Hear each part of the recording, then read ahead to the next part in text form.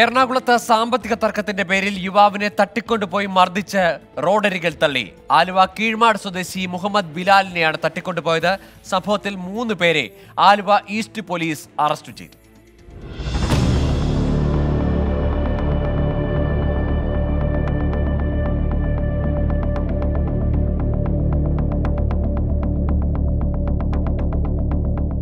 ഇന്നലെയാണ് സംഭവം ഉണ്ടായത്.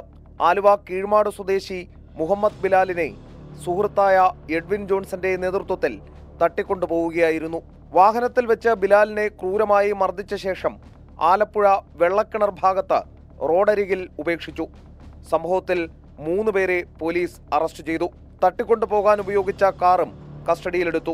അതേസമയം ബിലാൽ തന്റെ പിതാവിന്റെ ആഫ്രിക്കയിലെ സ്വർണഖനിയിൽ പങ്കാളിയാക്കാമെന്ന് പറഞ്ഞ് എഡ്വിനിൽ നിന്നും പണം വാങ്ങിയിരുന്നതായി പോലീസിന് വിവരം കിട്ടിയിട്ടുണ്ട്. ഒരു കോടി പതിനാല് ലക്ഷം രൂപയാണ് വാങ്ങിയത്. ഇത് തിരികെ നൽകാത്തതാണ് പ്രകോപന കാരണമെന്നാണ് സൂചന. S Srikanth twenty Kochi.